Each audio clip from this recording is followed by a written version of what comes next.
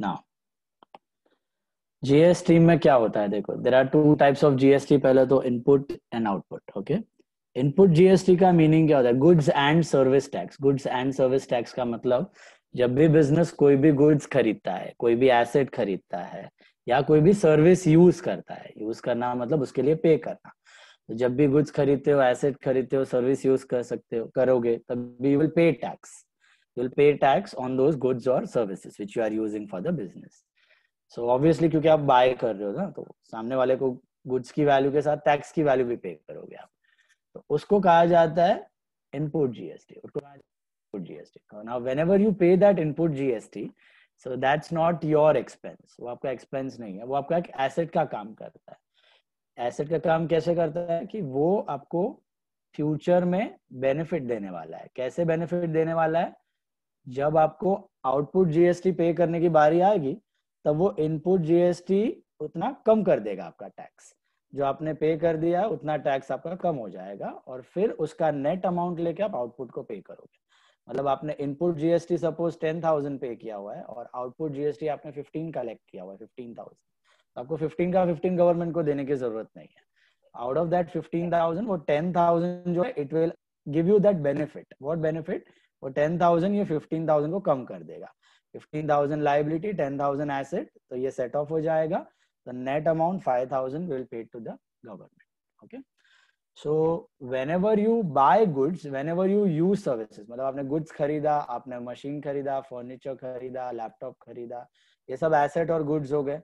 या फिर आपने सर्विसेज़ यूज़ किया ट्रांसपोर्टेशन की सर्विस यूज़ की सीए की ऑडिट की सर्विस यूज़ की लीगल चार्जेस की सर्विस यूज़ की या कोई और सर्विस आपने यूज़ की है तो उस सर्विस पे यू विल पे टैक्स तो हमेशा याद रखने का whenever we purchase anything और whenever we pay any expense it is always going to be input GST which you will debit like an asset on the other end whenever we are selling anything और if we are earning any income out of any service so whatever we will collect is called as output GST so purchase करते वक्त input GST like an asset so debit sell करते वक्त हम लोग भले ही collect करते हैं but वो आउटपुट जीएसटी अपना इनकम नहीं होता। It's never our income like input GST was never our expense output GST is not our income input GST was an asset for us like that output GST is a liability for us it is an income receive in advance lecture में I mean next lecture में I will be doing entries of income received in advance also income received in advance का मतलब क्या होता है? Time से पहले income आ जाती है। उसको बोलते हैं इनकम रिसीव इन एडवांस तो अगर टाइम पे आती है तो हम लोग क्या एंट्री करते हैं? Cash account debit to income account cash आया income is the credit all incomes and gains but time से पहले आ गई तो cash account debit to income received in advance that will be a liability वैसे ही आउटपुट जीएसटी जब भी हम कलेक्ट करते हैं that is our liability that's why we credit it okay so it's like a loan you can assume it's like a loan आपने loan लिया हुआ है, आपको रीपे करना बाकी है। बट आप ये पूरा रीपे नहीं करोगे, वो इनपुट काट के आप रीपे करो क्योंकि इनपुट जीएसटी आपको हेल्प करेगा टैक्स रिड्यूस करने में, ठीक है? तो in short whenever you buy और whenever you pay anything you debit input C G S T and whenever you sell anything whenever you do sales whenever you earn any income okay से तुम्हारा और कोई income आ रहा है commission income आ रहा है uh, apart from that तुम्हारा कोई ब्रोकरेज इनकम आ रहा है, sales के अलावा तो उस पे भी आप जीएसटी कलेक्ट कर सकते हैं।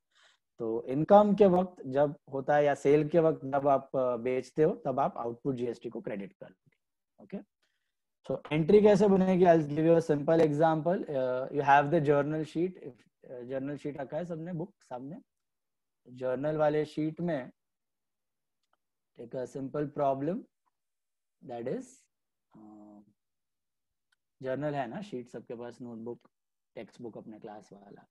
तो उसमें if you check problem number simple सा प्रॉब्लम एक ले लो। Problem number 18 you see problem number 18 18th sum में क्या दिया हुआ है? Sold goods to Mohan fourth transaction sold goods to Mohan of 20000 SGST 9% CGST 9% and नीचे सिक्स्थ वन में दिया हुआ है purchase goods from Sohan were 10,000, SGST 6%, CGST 6% via RTGS. देखा? तो पहले मैं नाइन्थ वाला कर रहा हूँ। सॉरी सिक्स वाला कर रहा हूँ फिर फोर्थ वाला करता हूँ। सिक्स वाले में क्या हो रहा है? परचेज गुड्स फ्रॉम सोहन मतलब आपने सोहन से गुड्स खरीदा। इज़ इट ऑन कैश और credit it's on cash basis or RTGS बराबर है? कैश बेसिस है। तो जीएसटी का कोई लेना देना नहीं है वेदर इट इज़ कैश और whether it is credit it does not matter okay GST will be calculated on both as both cash as well as credit transaction so cash transaction पे कितना आएगा अपना जीएसटी टेन थाउज़ेंड का goods है ten thousand का goods है, उस पर add C G S T six percent S G S T six percent that comes to six hundred six hundred तो ये हो जाता है इलेवन थाउज़ेंड टू हंड्रेड आपका एंट्री क्या बनता है? नॉर्मली आपका एंट्री होता है bank account debit to sales account ये नॉर्मल एंट्री होता था क्योंकि पैसा आपका वाया आरटीजीएस आ रहा है ना तो bank is the receiver and sales is our income but यहाँ पे क्या हो जाएगा? क्योंकि आप बेच रहे हो गुड्स तो आप सेल्स का पैसा तो लोगे प्लस जीएसटी का भी पैसा लोगे। So bank to sales to output CGST account to output we are doing 6 to 1 so purchase है 6 to 1 में sir we are doing purchase purchase input होगा ना? We are doing purchase purchase purchase sorry. We are purchasing by rtgs correct. We are purchasing. तो normally आपकी purchase की entry क्या होती है? Purchase account debit to bank account this is the entry purchase account debit to bank purchase is our expense and money is going out by RTGS तो normally होता है purchase to bank but यहाँ पे क्या हो जाएगा? Purchase का तो पेमेंट कर ही रहे हो, उसके साथ आप जीएसटी का भी पैसा दोगे जीएसटी का भी पेमेंट करोगे। तो परचेज के साथ क्या डेबिट कर देने का इधर? Input CGST debit input SGST debit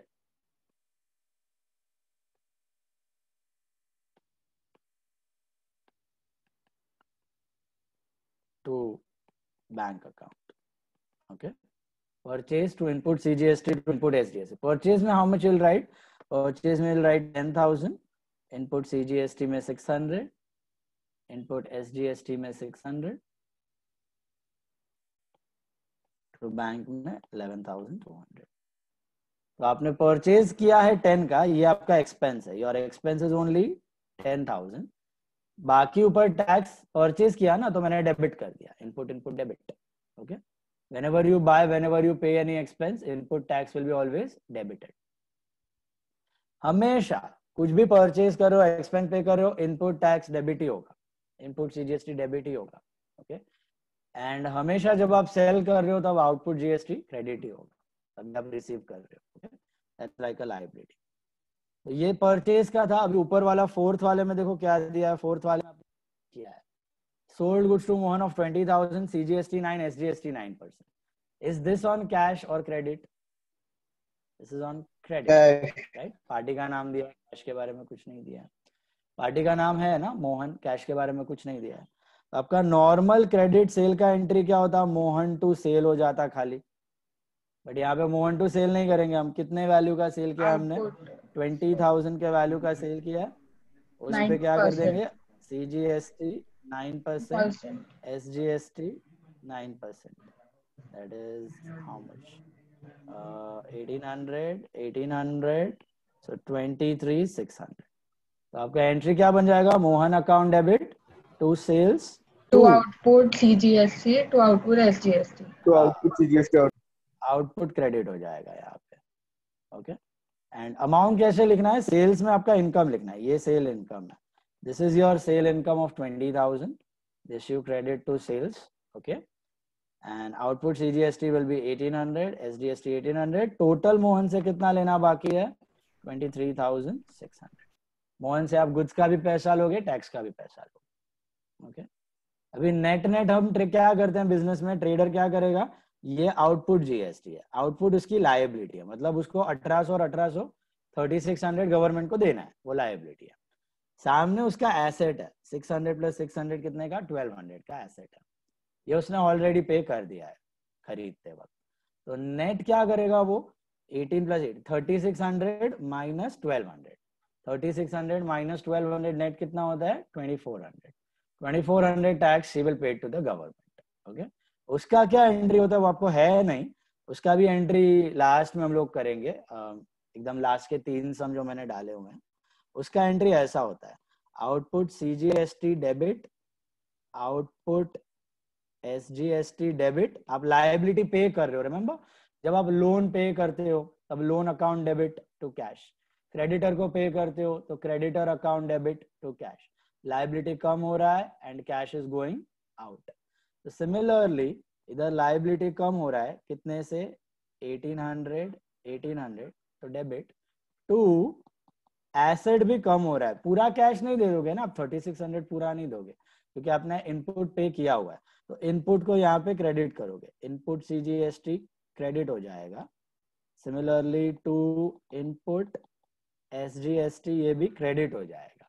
कितने से क्रेडिट होगा? 600 600 और बचा हुआ पैसा टू बैंक टू बैंक मतलब ये होएगा आपका twenty four hundred minus twelve hundred twenty four hundred will paid to the government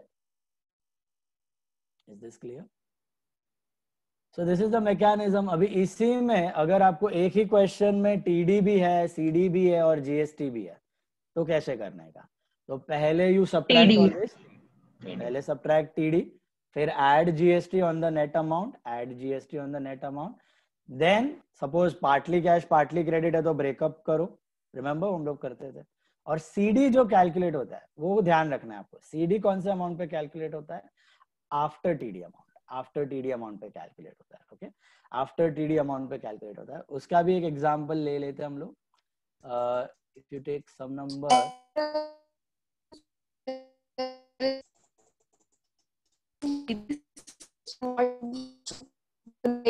up Isha, I'm not able to listen. Anyone was able to listen? What did Isha say? Isha क्या बोल रही हो Isha network connection Sir, if this in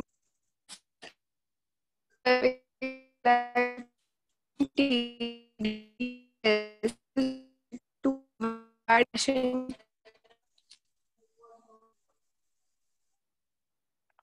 action nothing is audible. Robot is speaking ऐसा लग रहा है मेरे को।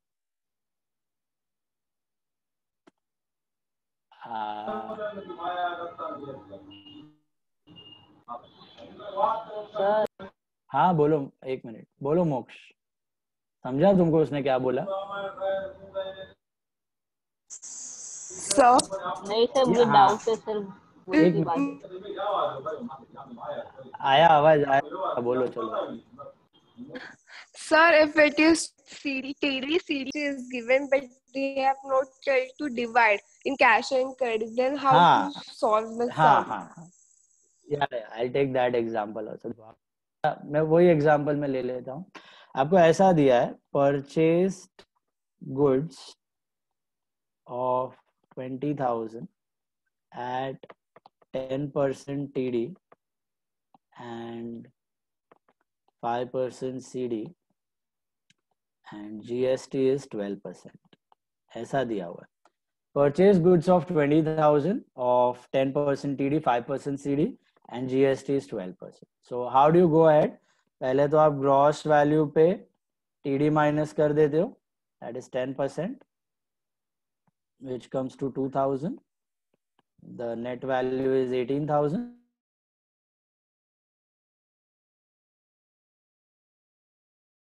hello? Yeah. So, पहले तो आप ग्रॉस वैल्यू पे टीडी सब्ट्रैक्ट कर लोगे टेन परसेंट से you get eighteen thousand right okay पूरा ट्रांजैक्शन कैश बेसिस पे हो रहा है यहाँ पे. Entire transaction is on cash basis क्योंकि पार्टी का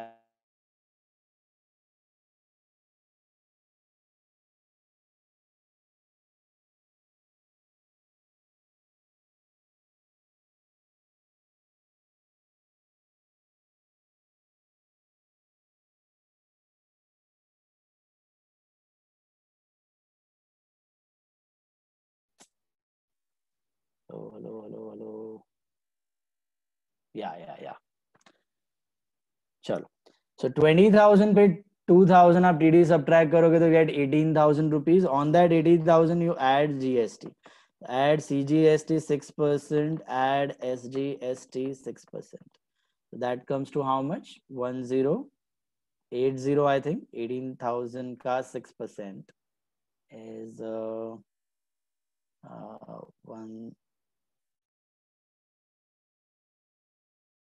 zero eight zero one zero eight zero आपने ऐड कर दिया इसमें GST okay and you get what twenty thousand one sixty as your final value अब आपको सी डी सब्ट्रैक्ट करना है परसेंट सी डी भी है फाइव परसेंट इस पे। तो फाइव परसेंट किस पे करोगे? Will you do it on two zero one six zero no you will do it on Eighteen thousand. Eighteen After TD value, after no? TD value. That's what I was trying to say. Okay, that's what I was trying to say. After TD value मतलब 18,000. अभी इधर कोई breakup नहीं है cash और credit का। अगर इसमें आधा कैश आधा क्रेडिट होता तो मैं 18,000 का हाफ़ कर लेता 9,000 उस पे सीडी ले लेता। वन फोर्थ थ्री फोर्थ होता तो मैं 18,000 का वन फोर्थ ले लेता। 4,500 और उस पे सीडी कर लेता। बराबर है? यहाँ पे कोई ब्रेकअप नहीं है। पूरा कैश पे पूरा कैश पे तो 18,000 पे 5 percent that is 900 net value is uh, 19260 तो आपका जर्नल एंट्री क्या बनेगा यहाँ पे? परचेज अकाउंट डेबिट अब ऑब्वियसली आपने परचेज किया है तो इनपुट डेबिट होगा। Input C G S T debit input S G S T debit to cash है या चेक है जो भी है टू कैश तो to cash account to discount. Received account क्योंकि सीडी है बुक्स में। परचेज अकाउंट डेबिट कितना होगा अभी यहाँ पे what will be purchase account debit this value 18000 rupees will be my purchase are you getting that after td bill value so purchase account debit will be 18000 taxes are 1080 1080 to cash how much i'm paying after discount i'm paying 19260 and discount received is 900 that's my cd so cd का तरीका वैसा ही है structure पहले td फिर GST फिर cd calculation of cd is on this amount. Which amount after td got it? Hope that is clear. Sir बोलो। Practically ऐसे ही होता है कि अलग प्रैक्टिकली तो कैसे होता है? प्रैक्टिकली कैसे होगा? यही क्वेश्चन का प्रैक्टिकल पार्ट में बताऊँ अगर आपको। जो पोदार फॉलो करेगा इनफैक्ट ईशा को वही फॉलो करना है आगे जाके। सो ट्वेंटी थाउज़ेंड पे ट्वेंटी थाउज़ेंड पे पहले TD ten percent that comes to two thousand so you get eighteen thousand eighteen thousand पे less C D five percent that will be nine hundred so you get seventeen one hundred ये पहले ही subtract हो जाएगा T D और C D दोनों। ये आपको अभी नहीं करना है थियोरी में। खाली पोदार फॉलो करता है और ये प्रैक्टिकल मेथड है। इस पे आप जीएसटी ऐड करोगे। Add C G S T six percent और बट ये जो होता है जीएसटी वो जो वो जो होता है बिल उस पे होता है ना? तो गवर्नमेंट क्या बोलता है? आप अगर ऑन द स्पॉट सीडी देते हो ना ये मैंने ऑन द स्पॉट दे दिया ना उसको। बाद में सेटलमेंट के लिए वेट नहीं किया। ऑन द स्पॉट मैंने उसको टीडी दिया और बोला पैसे दे रहा है ऑन द स्पॉट सीडी भी दूँगा। तो गवर्नमेंट बोल रहा है आपका बिल जो है आप सेवनटीन वन हंड्रेड का ही बनाओ। ये आपका प्राइस तो बिल क्या हुआ? एटीन थाउज़ेंड की सेवेंटीन थाउज़ेंड वन हंड्रेड? ये प्रैक्टिकल मेथड है। प्रैक्टिकल मेथड में प्रैक्टिकल प्रैक्टिकल में गवर्नमेंट क्या बोल रहा है? आप टीडी दे रहे हो आप सीडी दे रहे हो ऑन द स्पॉट दे रहे हो ना सब डिस्काउंट काट लो उसको। उसको काट के ही बिल बनाओ। जितने डिस्काउंट आपको देने दे दो। उसको काट के जो वैल्यू मिले उसका बिल बनाओ। तो आपका बिल वैल्यू रहेगा सेवनटीन वन हंड्रेड तो कॉलेजेस में ऐसा क्यों होता है? कॉलेज इसमें एक्चुअली स्टैंडर्ड टेक्स्ट बुक में रॉन्ग दिया है। Okay college bound to follow standard text book okay that's a mistake इसके लिए। तो आपके बुक्स में आप सीडी अलग से रिकॉर्ड करते हो ना इन दिस प्रैक्टिकल सिचुएशन ये टीडी सीडी दोनों बुक्स में से चला जाएगा। रिकॉर्ड होगा ही नहीं। CD will be like TD only क्योंकि आपने इन एडवांस डिस्काउंट दे दिया तो वो कहीं दिखने वाला नहीं है बुक में? ओके तो आपका सीधा purchase to cash purchase input input to cash का एंट्री हो जाएगा। सर प्रैक्टिकली भी ये जो है सीडी वो भी ये जो बुक्स उसमें आता ही नहीं है। आता है आता है आता आता है प्रैक्टिकली प्रैक्टिकली आता है। आता है यस डिस्काउंट आता है। But that CD is when you have that cd after a month or 15 day or 20 day 20 day के बाद आप सेटल कर रहे हो। आपको लेना है 5000 आपने लिया 4000 तब होता है तब होता है तब होता है इसमें नहीं होएगा। इसमें नहीं होगा इमीडिएट ट्रांजैक्शन में नहीं दिखेगा। ओके ट्रांजैक्शन में इनवॉइस ही आपका आफ्टर सीडी बन रहा है after discount okay generally practically है ना कोई इमीडिएटली पेमेंट करता ही नहीं है बिज़नेस में। 90 95 percent of the transaction happen on credit only liquidity होती नहीं है ना पब्लिक के पास इतनी। तो इमीडिएट सीडी का ऐसा प्रैक्टिकली चलन है ही नहीं। सीडी कब होता है? उसके टर्म्स डिसाइडेड होते हैं। 15 डे 20 डे वन मंथ अगर आप विद इन फिफ्टीन डे पे कर रहे हो तो आपको फाइव परसेंट सीडी दे देंगे। विद इन टेन डे पे कर रहे हो टेन सीडी दे देंगे। ऐसा डिसाइडेड रहता है। वो. सीडी हमेशा बुक्स में रिकॉर्ड होगा। दैट सीडी तो हम नॉर्मली करते हैं। तो this is the practical way इस पे आप जीएसटी ऐड करोगे। तो पोदार तो क्या करता है, इस पे सीडी भी रिकॉर्ड करता है और जीएसटी भी ऐड करता है, ऐसा होता है।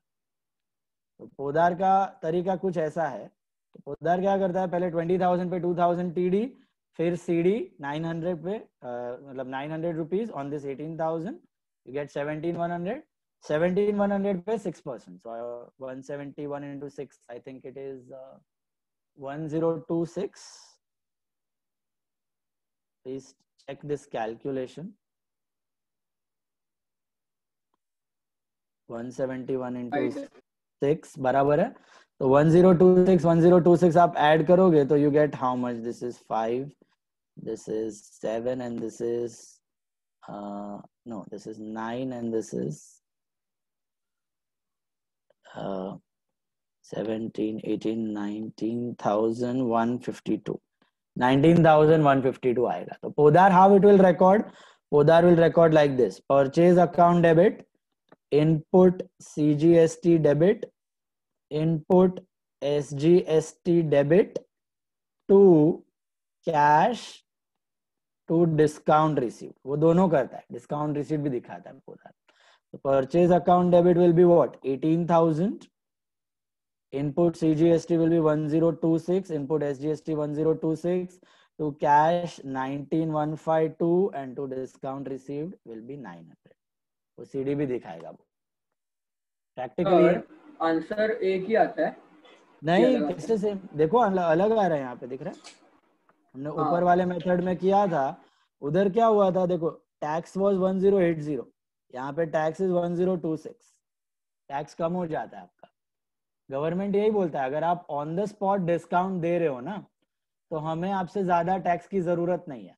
आपको जो पैसे मिले हैं कस्टमर से एट हैंड आप उसी अमाउंट पे टैक्स भरो गवर्नमेंट को। तो एक्चुअल वे में आप डिस्काउंट देने के बाद टैक्स पे करते हो गवर्नमेंट। बट ये थियोरिटिकल मेथड में हम लोग थोड़ा ज़्यादा टैक्स हो जाता है calculation answer will be different answer will be different okay but है अभी तो करना पड़ेगा। प्रैक्टिकली ये ज़्यादा ज़रूरत झंझट आता ही नहीं है, मैंने आपको शुरू में ही बोला, क्योंकि I told you majority of the transaction happen on credit remember तो इमीडिएटली सीडी देने का सवाल उठता ही नहीं है। तो practically only TD and GST only TD and GST your bill value पे जीएसटी तो इतना झंझट मारी होता नहीं है। बोलो। अभी समझा ये जीएसटी का? सेल में यही एंट्री करना है, अभी यही सेल होता तो एंट्री क्या हो जाता? अगर यहीं पे हम लोग सेल किए होते suppose this was our sale then what would have been the entry cash account debit Cash discount account allowed debit, account debit discount allowed account account debit, to output CGST to output to output CGST. बराबर है? Cash account debit would have been 19260 discount allowed 900 to sales would have been 18000 to output to output 1080108 is that clear sale है तो output GST credit purchase है तो input GST debit fine उधार का method समझा? ईशा को सुनाई दे रहा है कि ईशा गायब हो गई है? खाली यस बोल लो चलेगा। है तो पोदार में क्या करना है ईशा को? पोदार में ये करना है। ये जो मैंने नीचे बताया ये पोदार है। This is Podar. ओके पहले टीडी फिर सीडी फिर जीएसटी और फिर एंट्री सेम रहेगा। Purchase input input to cash to discount only the amounts will change okay and NMT by ऊपर वाला ये वाला and other colleges also tell me what are the doubt sir तो हम लोग ये जो है ड्यू का समझाओगे ड्यू उस पे हम लोग क्यों नहीं सीडी कौन सा? सब्ट्रैक्ट करते what what did you ask ये जो अमाउंट आफ्टर जीएसटी है उस हाँ। पे हम लोग ये जो है सीडी क्यों सब्ट्रैक्ट नहीं नहीं करते। करते हैं। ये वाला ना 20160 वाले। हाँ। हाँ इस पे इसलिए नहीं करते हैं क्योंकि क्या है अगर तुमने समझो टेन थाउज़ेंड का गुड्स था समझो ओके उस पे टीडी था वन थाउज़ेंड सिंपल अमाउंट का ले लो एग्जांपल गेट नाइन थाउज़ेंड ठीक है? नाइन थाउज़ेंड पे मैंने सपोज़ जीएसटी लगाया दोनों मिला के सीजीएसटी प्लस एसजीएसटी मिला के लगाया तो हो गया फाइव हंड्रेड तो total value nine five double zero हो गया आफ्टर जीएसटी अभी लेस सीडी करना है तो यू आर आस्किंग के नाइन फाइव डबल ज़ीरो पे क्यों नहीं किया? नाइन थाउज़ेंड पे क्यों किया? तो इधर वही लॉजिक है कि जब वो बंदा डिस्काउंट अभी हम जो समझो परचेज कर रहे हैं तो परचेज में वो सामने वाला डिस्काउंट अलाउ कर रहा है अपने को, बराबर है? तो सामने वाला कौन से अमाउंट पे डिस्काउंट अलाउ करेगा? नाइन थाउज़ेंड पे ही करेगा ना गुड्स के वैल्यू पे। वो टैक्स में क्यों डिस्काउंट अलाउ करेगा? अगर वो नाइन थाउज़ेंड फाइव हंड्रेड पे डिस्काउंट अलाउ करता है, सपोज़ सीडी टेन परसेंट है, सपोज़ सीडी टेन परसेंट है, और नाइन थाउज़ेंड फाइव हंड्रेड पे करता है तो आपको सीडी मिलेगी नाइन फिफ्टी। तो इसका मतलब आप उसको दे रहे हो कितना? एट फोर फाइव ज़ीरो दे रहे हो आप। Eight five five zero, sorry. आप उसको एट फाइव फाइव ज़ीरो दे रहे हो। नेट इसका मीनिंग क्या हुआ? जो सामने बेचने वाला है, उसको एट फाइव फाइव ज़ीरो मिलने का मतलब क्या हुआ? गुड्स पे ही, नौ हज़ार के गुड्स पे साढ़े नौ सौ का डिस्काउंट दे दिया उसने। गवर्नमेंट को तो उसको ये जीएसटी पूरा देना पड़ेगा ना फाइव हंड्रेड उसमें कोई रिबेट विबेट मिलने वाला नहीं है उसको।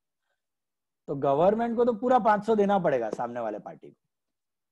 हमने पे किया उसको तो वो गवर्नमेंट को दे देगा। तो उसके जेब से पचास रुपए एक्स्ट्रा जा रहा है ना डिस्काउंट का। बिकॉज़ तुमने अगर नाइन थाउज़ेंड फाइव हंड्रेड पे किया मतलब तुम जीएसटी पर भी डिस्काउंट ले रहे हो। जीएसटी पर डिस्काउंट नहीं मिल रहा है अपने को। उसको भी नहीं मिल रहा, अपने को भी नहीं मिल रहा। अभी सपोज़ हम लोग बेच रहे हैं। सपोज़ हम लोग सेलर है फॉर इन दिस एग्ज़ाम्पल तो हम लोग क्या करेंगे? जीएसटी ऐड करके साढ़े नौ हज़ार का गुड्स हो गया। अगर साढ़े नौ हज़ार पे टेन परसेंट डिस्काउंट दे दिया नाइन फिफ्टी का डिस्काउंट दिया तो अपने को एट फाइव फाइव ज़ीरो हाथ में आया। गवर्नमेंट को तो अपने को पाँच सौ रुपया देना पड़ेगा टैक्स का। उस पर तो कोई डिस्काउंट नहीं मिलेगा। तो ट्रेडर क्या सोचेगा, मैं फोकट का क्यों पचास रुपए एक्स्ट्रा दूँ? वो टैक्स पे मेरे को कुछ फ़ायदा तो हो नहीं रहा है। पूरा 500 कलेक्ट किया 500 का 500 दे रहा है गवर्नमेंट ऑब्वियसली इनपुट माइनस करके, लेकिन 500 ही जा रहा है बाहर। तो इसके लिए हम लोग क्या करते हैं, खाली गुड्स अमाउंट पे डिस्काउंट कैलकुलेट करते हैं। गुड्स अमाउंट का कितना अपना खर्चा? या इन सेल केस अपना इनकम अपना इनकम या अपना एक्सपेंस ये है नाइन थाउज़ेंड तो इसी पे हम लोग अलाउ करेंगे जीएसटी पे अलाउ नहीं करते हम लोग. इसी पे अलाउ करेंगे नाइन हंड्रेड कलेक्शन जो है वो बढ़ जाएगा. अपना कलेक्शन हो जाएगा अभी एट थाउज़ेंड सिक्स हंड्रेड अब अपने को एट सिक्स डबल ज़ीरो आ गया. अपना खाली अलाउ नौ सौ रुपया और पाँच सौ रुपया गवर्नमेंट को दे दिया हमने ऐसा। कोई कोई ऐसे भी गुड्स होते हैं जिसपे ज़ीरो परसेंट टैक्स लगता है। ज़ीरो परसेंट जीएसटी है एकदम एसेंशियल कमोडिटीज है।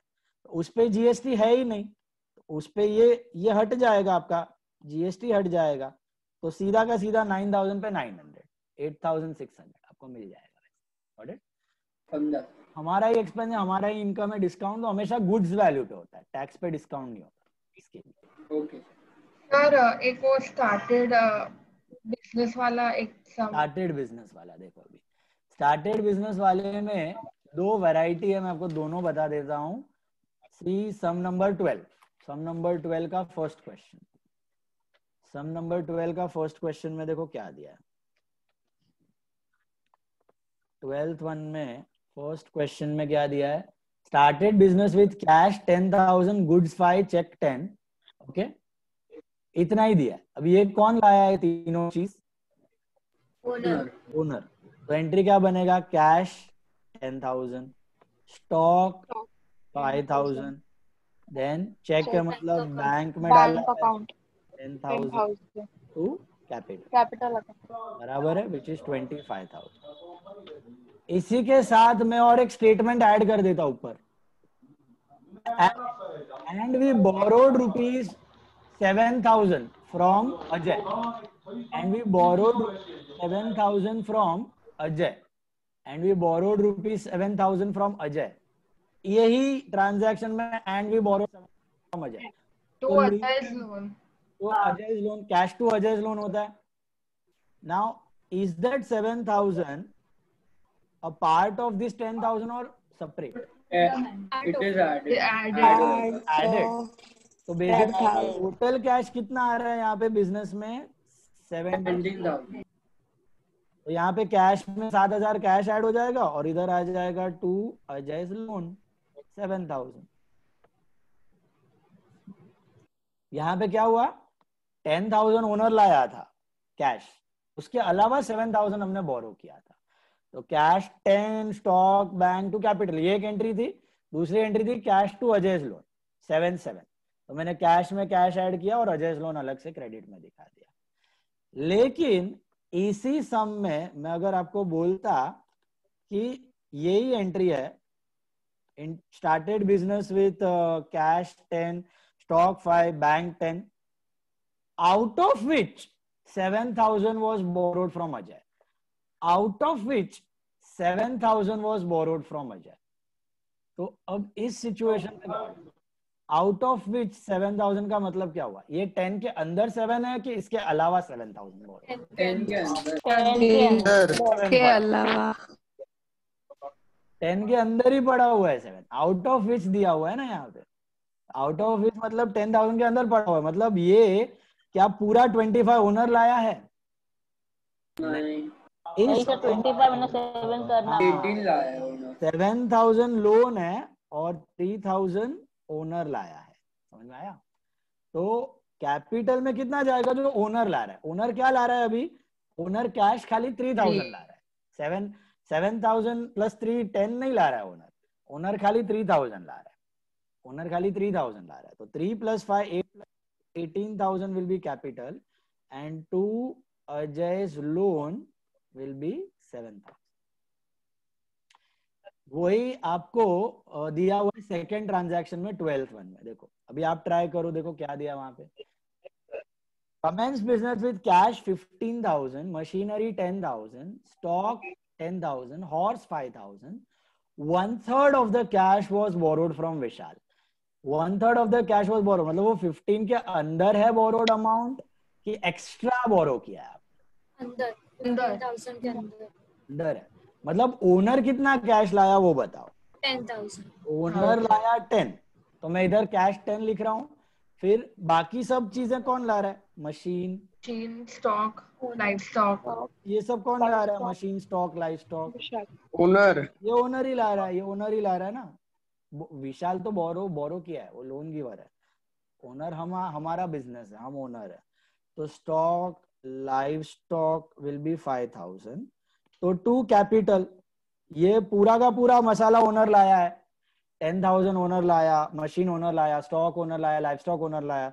So what is this total value thirty five business क्या बोलेगा? Owner owner thank you you are the giver I have to repay you thirty five thousand this is your internal liability और बोरो कितना किया है? Total cash पंद्रह आया उसमें से दस ओनर लाया तो borrow one third five thousand तो उसका एंट्री क्या होता है? जब आप बोरो करते हो तब क्या एंट्री करते हो. Cash account debit to Ajay loan पैसा यहाँ पे विशाल सॉरी तो cash account debit to Vishal loan account तो क्या करोगे आप? कैश टू विशाल लोन है तो इसी में क्लब कर दो।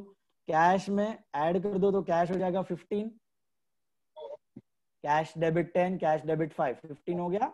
और यहाँ पे दूसरा एक और क्रेडिट में आ जाएगा विशाल लोन अकाउंट तो विशाल लोन अकाउंट फाइव था।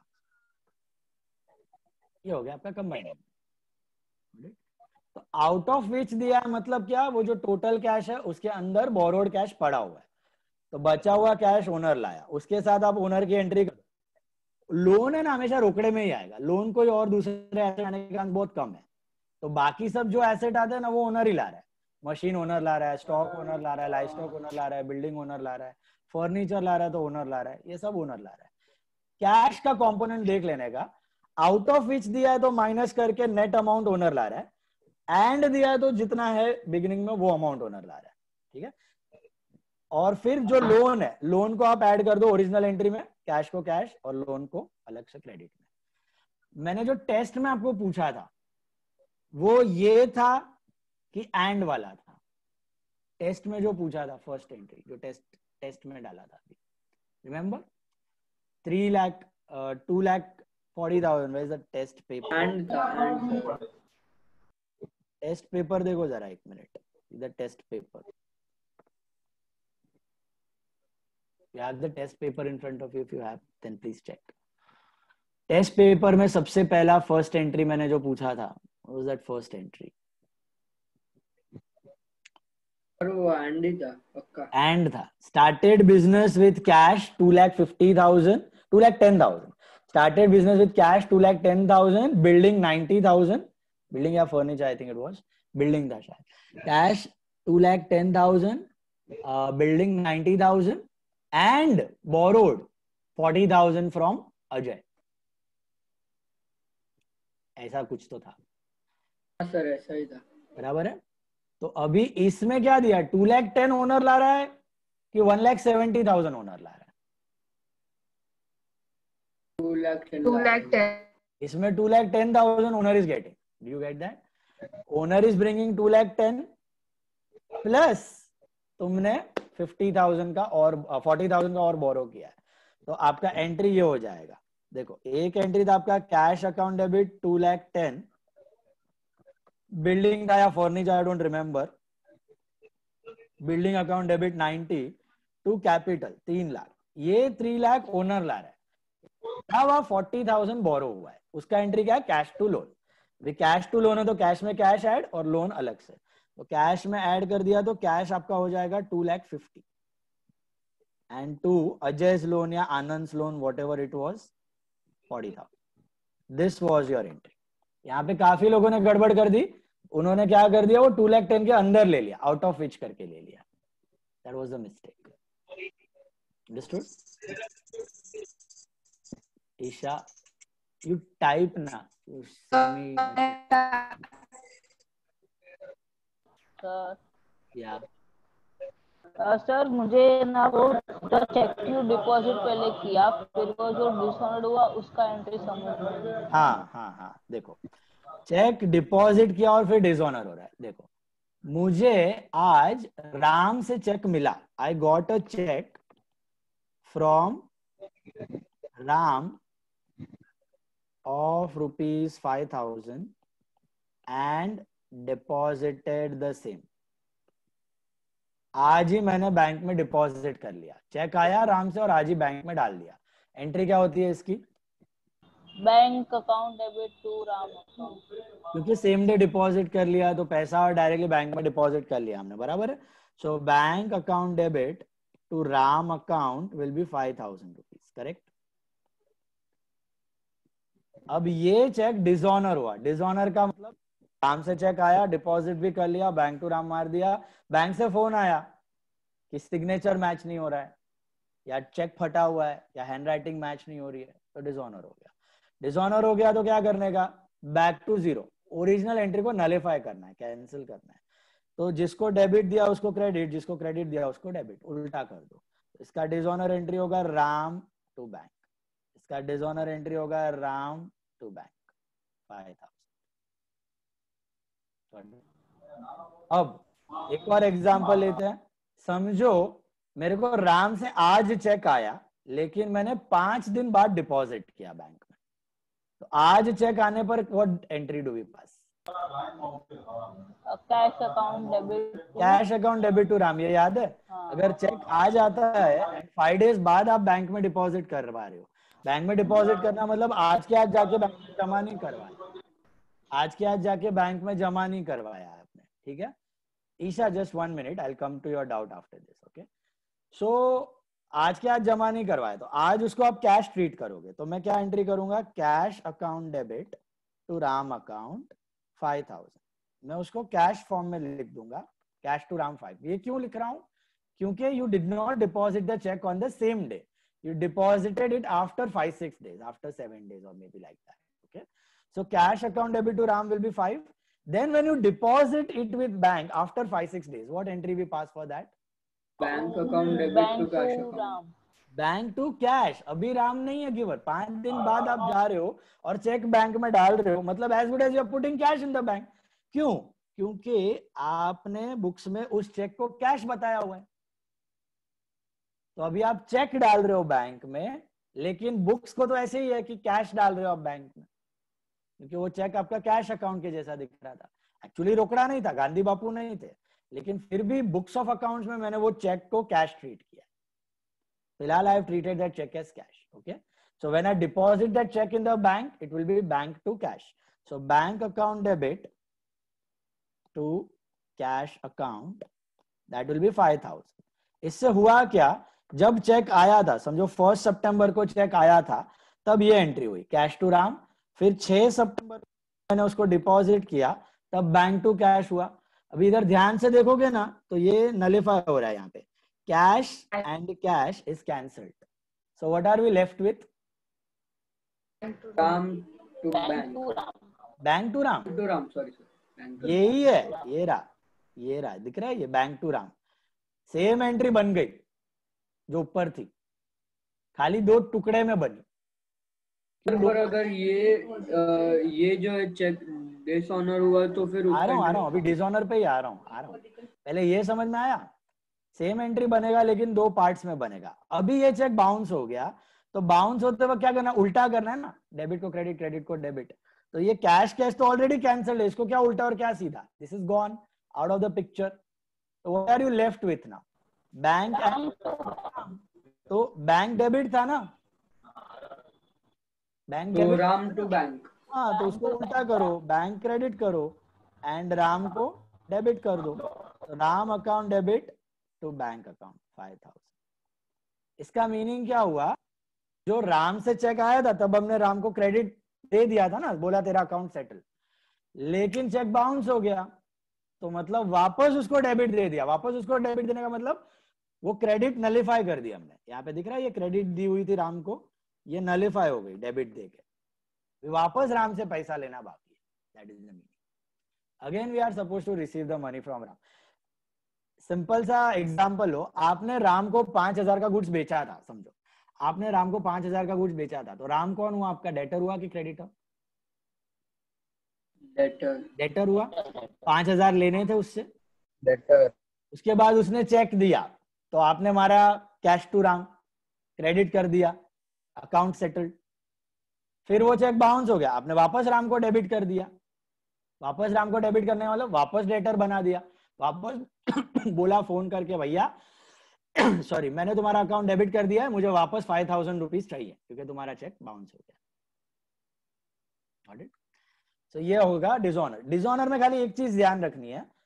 ओरिजिनल एंट्री को रिवर्स करना है, बराबर। बट ऐसा सिचुएशन है कि पहले चेक आया और फिर डिपॉजिट किया है आपने बैंक में।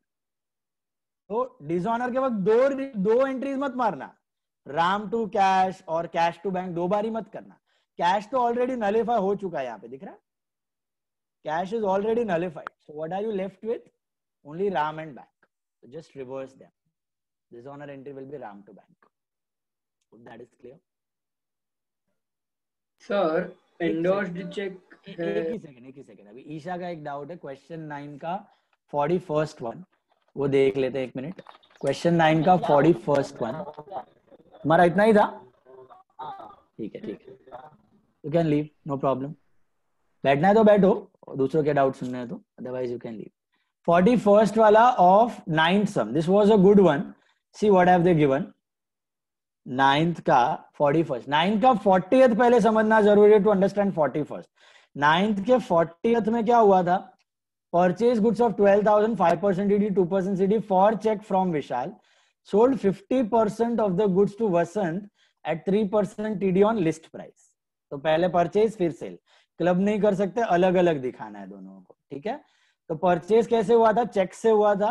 तो पहले तो मैं क्या करूँगा? ग्रॉस अमाउंट लिख दूँगा ट्वेल्व थाउज़ेंड उस टी डी लूँगा that is five percent so six hundred so eleven four hundred उस पे सीडी भी लूँगा, क्योंकि कैश पे हो रहा है two percent two twenty eight तो one one one seven two और एंट्री क्या बनेगी मेरी? Purchase account debit to bank account to discount received account ठीक है?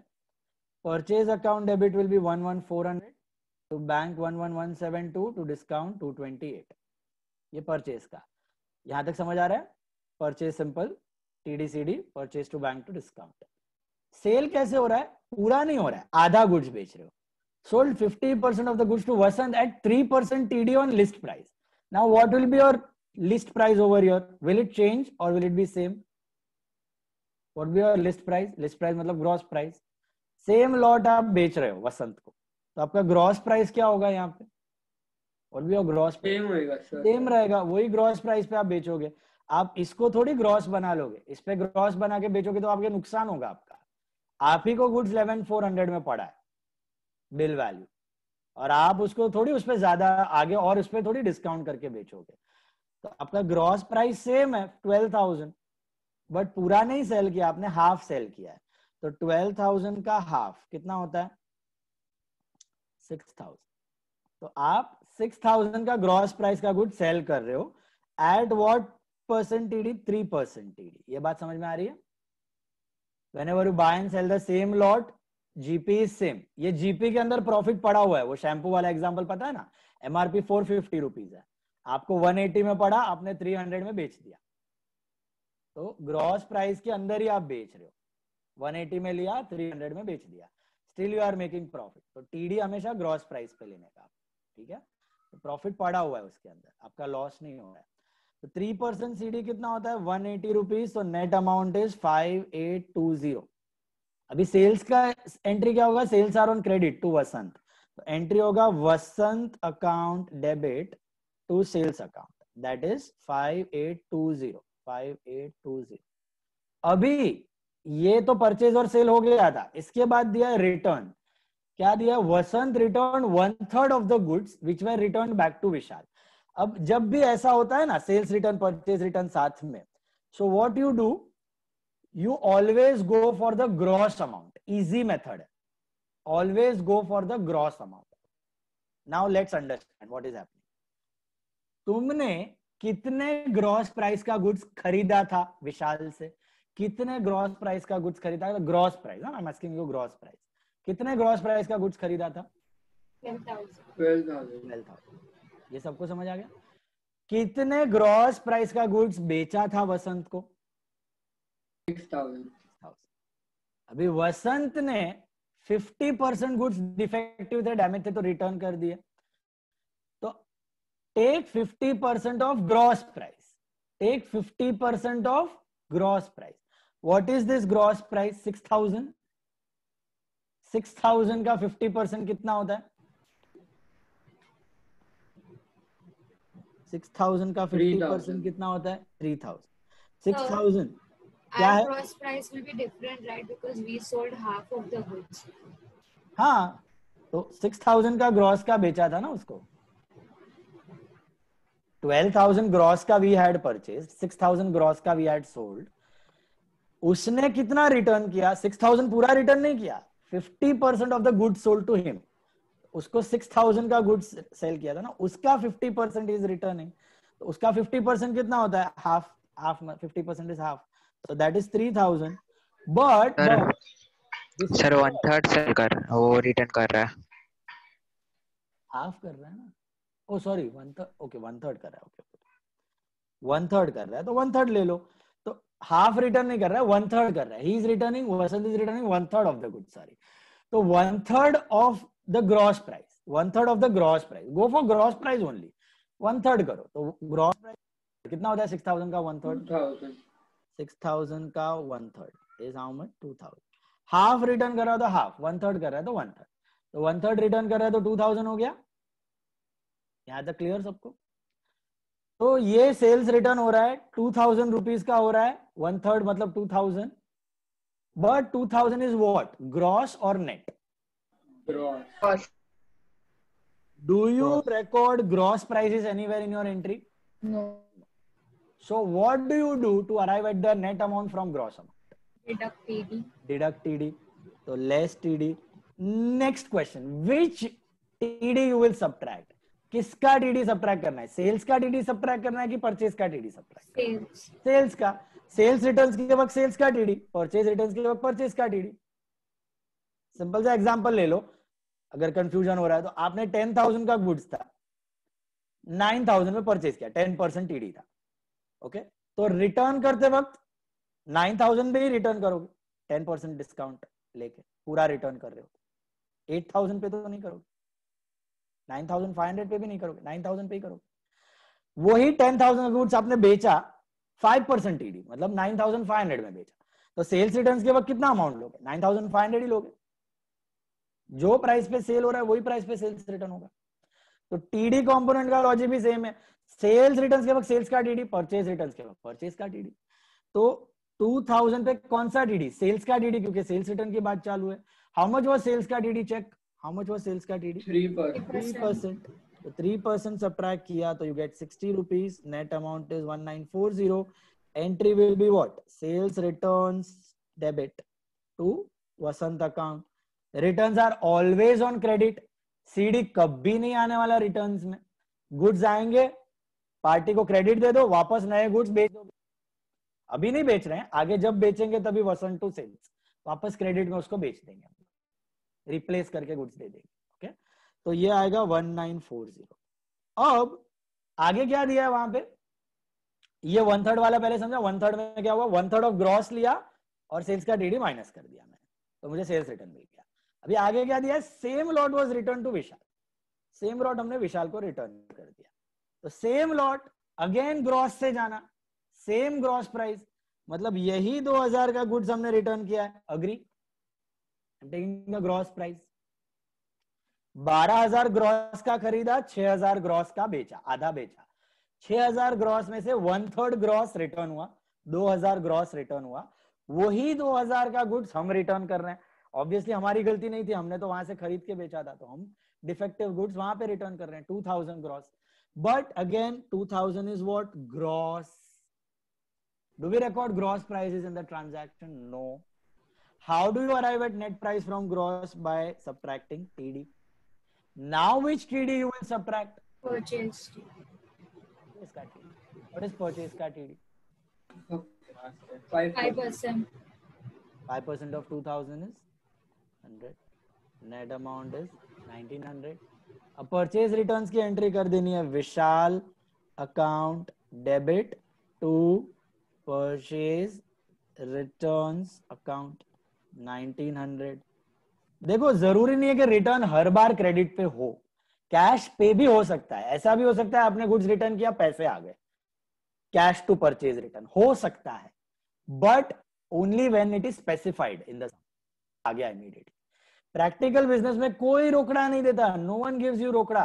आप कभी भी गुड्स डिफेक्टिव रिटर्न को किसी भी शॉप में चले हो ये तो अमेजोन फ्लिपकार्ट वाले अभी आ गए हैं ऑनलाइन वाले। ये ऐसे रिफंड पॉलिसी लेके आते हैं। बाकी आप कोई भी ऑफलाइन नॉर्मल सेल करोगे और उसमें जो भी रिटर्न होते हैं, जो भी डिफेक्टिव गुड होते हैं, आपको रिप्लेस करके मिलते हैं। वो हमेशा क्रेडिट पे होता है, वो कभी कैश पे नहीं होने वाला। तो सीडी का तो लफड़ा ही नहीं है। खाली टीडी माइनस करना है विशाल टू परचेज रिटर्न हो गया, नाइनटीन दिस क्लियर तो one third half same return के केस में हमेशा कैसे अप्रोच लेना? ग्रॉस सीधा ग्रॉस प्राइस उठा लो, और सेल्स रिटर्न कर रहे हो तो सेल्स का टीडी माइनस कर लो। परचेज रिटर्न कर रहे हो तो परचेज का TD minus Sir, what is a bearer check? Bearer check पे आते हैं। बैरर चेक क्या होता है अभी? बैरर चेक में आप ये जो चेक होता है ना चेक देखा होगा आपने उसमें लिखा होता है पे सो एंड सो पर्सन और लिखा होता है और बैरर ओके देन होता है sum of rupees and all तो बैरर चेक में आप ये और बैरर कट नहीं करते। आप ऐसे ही रहने देते हो। ठीक है? और उसको क्रॉस भी नहीं करते।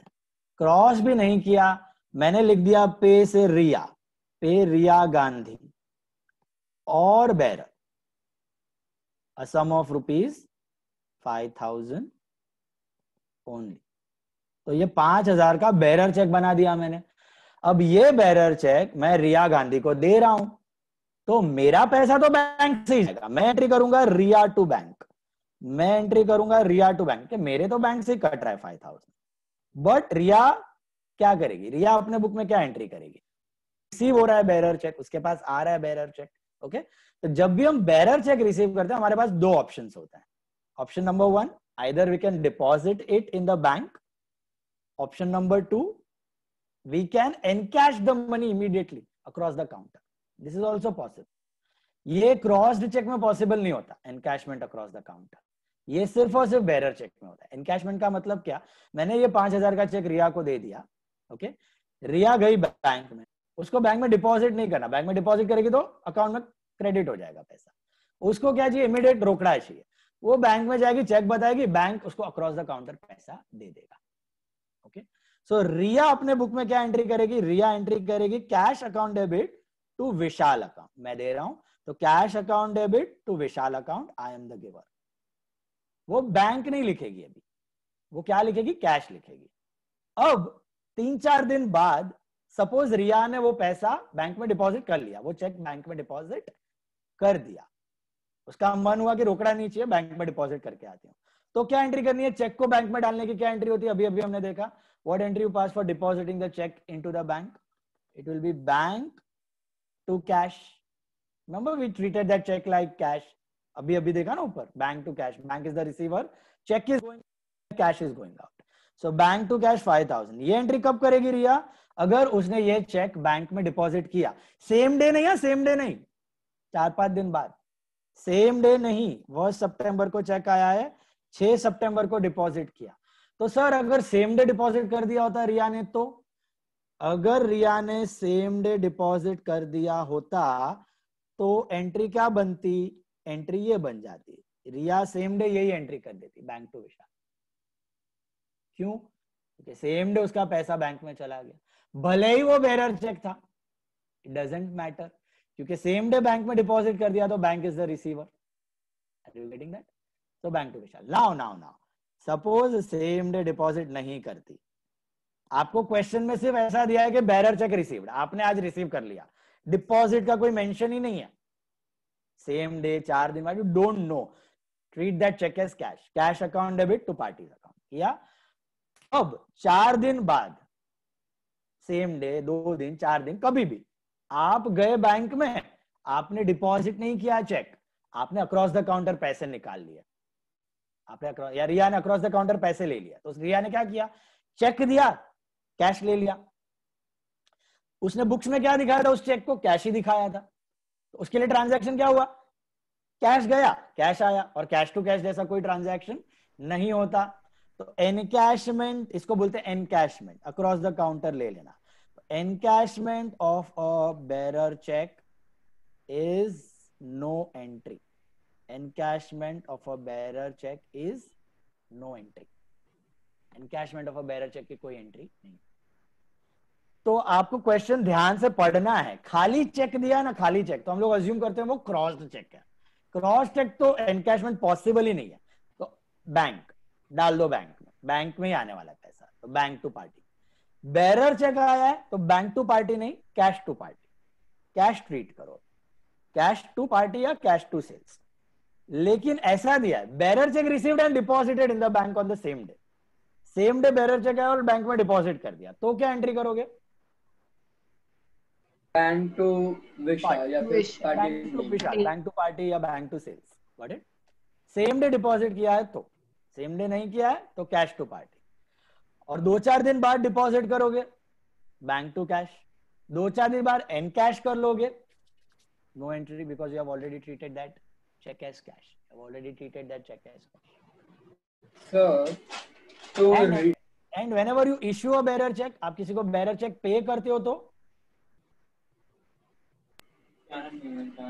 parties name to bank. Parties तो name बैंक ही लिखना है तो बैंक ठीक है मैं चेक दे रहा हूँ मेरा तो बैंक से ही कटने वाला है पैसा मैं क्रॉस चेक दूँ कि बेरर चेक दूँ कि कोई भी चेक दूँ मेरा तो पैसा बैंक से ही जाएगा तो बैंक इज़ द गिवर तो पार्टी टू बैंक या purchase to bank. Okay, sir. Thank you. Sir तो रिया के अकाउंट में अमाउंट डेबिट होएगा ना मेरे केस में मैं मेरे बुक्स में नहीं उसके बुक में। उसके बुक में ये एंट्री आएगी ना कैश टू विशाल हाँ तो तो उसके में Debit हुआ ना? आया डेबिट हुआ हाँ डेबिट व्हाट कम्स उसको मिला and I am the giver तो मैं सेटल हो गया। मेरा settle and then cheque deposit किया तो बैंक टू कैश तो बैंक में चले गए पैसे वैसे। Sir what is due amount due due मतलब outstanding due means outstanding. Outstanding expense का क्या लॉजिक है? अक्रूवल सिस्टम हम लोग करते हैं अकाउंट्स में। ओके अक्रूवल सिस्टम क्या बोलता है? एक्सपेंस का टाइम आ जाए तो आपको एक्सपेंस को डेबिट करना ही है। तो अभी ये मंथ की सैलरी है सपोज़ जनवरी की सैलरी है। और मैं जनवरी में पे करता हूँ। Say it is ten thousand so I will pass an entry salary to cash बराबर है? जनवरी की सैलरी जनवरी में दे दी। अभी जनवरी पूरा महीना चला गया और मैंने सैलरी दी ही नहीं है। पैसे दिए ही नहीं अभी तक। Still I will pass the entry expense की एंट्री तो करनी पड़ेगी। अक्रूवल सिस्टम यही बोलता है कि आपका एक्सपेंस इनकर हो गया है ना, काम हो गया है ना तो एक्सपेंस डेबिट करो। इरिस्पेक्टिव ऑफ़ मनी गिवन पैसे भले दिए हो कि ना दिए हो एक्सपेंस को डेबिट करो करो करो। तो सैलरी को डेबिट करूँगा टू वॉट देना बाकी है, पेएबल है ऐसा तो दिया नहीं है तो उसको बोलते हैं आउटस्टैंडिंग सैलरी। तो सैलरी टू आउटस्टैंडिंग सैलरी, ये एंट्री कर दूँगा in the month of January, अगर मैंने वो सैलरी पेंडिंग रखी है। फिर जब फेब्रुवरी आएगा या मार्च आएगा, जब भी मैं ये पे कर रहा हूँ, जो पेंडिंग सैलरी है वो पे कर रहा हूँ तो वापस मैं सैलरी टू कैश नहीं करूँगा, सैलरी डेबिट टू कैश नहीं करूँगा। मैं क्या करूँगा? Outstanding salary to cash. मैं ये एंट्री कर दूँगा। आउटस्टैंडिंग सैलरी टू कैश जैसे आप करते हो purchase to creditor purchase is expense creditor is liability देना बाकी है। गुड्स खरीद लिए तो रिकॉर्ड कर लेते हो ना। ऐसे थोड़ी बोलते हो कि यार पैसे नेक्स्ट मंथ दूँगा तो गुड्स भी नेक्स्ट नेक्स्ट मंथ में रिकॉर्ड करूँगा। You don't do that that तो आप क्या करते हो? परचेज टू क्रेडिटर मार देते हो। तो purchase is like salary expense outstanding salary is like creditor liability फिर आप जब क्रेडिटर को पे करते हो, तब आप क्या एंट्री करते हो? क्रेडिटर को जब पैसे देते हो, तभी। क्रेडिटर अकाउंट डेबिट सेटल हुआ लाइबिलिटी कम हुई to cash account same way you pass an entry outstanding salary account debit to cash account liability घटी कैश घटा एसेट घटा। दैट्स ड्यू यही लॉजिक इनकम पे भी अप्लीकेबल है। एक्सपेंस पे भी और इनकम पे भी। आप सोचो आपने अपनी जगह किसी को रेंट पे दिया। आपको रेंट आ रहा है ten thousand rupees per month तो साल का रेंट कितना बनता है? One lakh twenty thousand rupees one lakh twenty thousand rupees आपको रेंट मिलना चाहिए था। आपको पूरे साल का रेंट इस ईयर का rent one lakh twenty thousand मिलना चाहिए था। तो अगर पूरा मिल जाता मैं भी ये ईयर का एग्ज़ाम्पल ले रहा हूँ। मंथ नहीं है तो ईयर का ले लेते हैं समझो वन लाख ट्वेंटी पूरा। पूरे साल का मिल जाता। मंथ का बोलो ईयर का बोलो तो पूरे साल का वन लाख ट्वेंटी मिल जाता तो cash to rent one lakh twenty कर देता। अब अगर इस साल वन लाख ट्वेंटी में से आपको खाली वन लाख रुपीज़ ही मिला है तो क्या वन लाख रुपीज़ की इनकम दिखाओगे? नहीं। अक्रूवल सिस्टम क्या बोलता है? अपनी इनकम अर्नड बेसिस पे दिखानी, कमाई हुई बेसिस पे दिखानी। ओके तो आपको भले ही वन लाख रुपीज़ मिला है रेंट में तो आप क्या एंट्री करोगे? आप ऐसे करोगे cash to rent one lakh ये तो करोगे ही। और बाकी दो महीने का रेंट जो पेंडिंग है इस साल का, उसके लिए रेंट तो क्रेडिट होगा होगा और होगा ही ट्वेंटी थाउज़ेंड पैसे नहीं आए ना अभी तक, पैसे आपको नेक्स्ट ईयर मिले, समझो। अभी तक पैसे नहीं आए हैं, पैसे नेक्स्ट ईयर मिलने वाले हैं। तो इस साल इनकम तो आप पूरी दिखाओगे वन लाख की इनकम प्लस ये ट्वेंटी रेंट को पूरा क्रेडिट मिलना चाहिए वन लाख ट्वेंटी का। वन लाख रुपीज़ रोकड़ा आ गया था तो मैंने कर दिया cash to rent one lakh बाकी ट्वेंटी थाउज़ेंड मिलना बाकी है तो इधर मैं लिखूँगा rent receivable rent receivable twenty thousand rent receivable to rent twenty thousand जैसे वहाँ पे मैंने लिखा ना आउटस्टैंडिंग सैलरी टू सैलरी ये sorry salary to outstanding salary expense के केस में क्या था? Expense to outstanding expense expense का टाइम आ गया तो एक्सपेंस डेबिट होना चाहिए। पैसे नहीं दिया ना तो liability outstanding salary credit income के केस में क्या होता है? इनकम क्रेडिट होनी चाहिए। टाइम आ गया इनकम क्रेडिट होनी चाहिए। ये साल खत्म हुआ इनकम पूरी की पूरी क्रेडिट होनी चाहिए। तो ट्वेंटी थाउज़ेंड भी क्रेडिट होना चाहिए वन लाख भी। टोटल वन लाख ट्वेंटी से क्रेडिट होना चाहिए। इसमें से मिला कितना है आपको? वन लाख तो ऊपर कैश लिखा है मैंने वन लाख और बाकी कितना मिलना बाकी है? ट्वेंटी थाउज़ेंड तो that is receivable what is rent receivable it's an asset like debtor जैसे outstanding expense was liability like creditor वैसे income receivable is an asset like debtor अब ये बीस हज़ार का रुपया आपको नेक्स्ट ईयर मिला। ये बीस हज़ार जो मिला नहीं है ना, ये साल बाकी है ना, ये आपको नेक्स्ट ईयर मिला, ये रोकड़ा मिला। तब आप क्या एंट्री करोगे वापस? Will you do cash to rent again for this no no what entry to rent receivable हाँ cash to rent Rent receivable. Receivable twenty thousand twenty thousand बीस हज़ार जो मिल रहा है ना आपको रोकड़ा मिल रहा है ना नेक्स्ट ईयर उसकी एंट्री कैश टू रेंट नहीं होगी। क्यों रेंट नहीं लिख सकते अभी? रेंट तो ऑलरेडी प्रीवियस ईयर में क्रेडिट हो चुका है इनकम आपका। जिस ईयर का इनकम था उस ईयर में क्रेडिट ईयर का नहीं समझ रहे मंथ का एग्ज़ाम्पल ले लो। समझो, ये था मंथ ऑफ़ जनवरी ये था जनवरी का मंथ जनवरी के महीने में आपको जनवरी का रेंट मिल जाता। तो एंट्री होती कैश टू रेंट जनवरी के महीने में रेंट मिला ही नहीं तो भी आपको रेंट तो क्रेडिट करना ही पड़ेगा। टाइम आ गया। पैसे मिलने बाकी है तो रेंट रिसीवेबल टू रेंट बात? फेब्रुवरी मार्च कभी आगे जाके ये पैसा रिसीव किया आपने तब एंट्री क्या करोगे?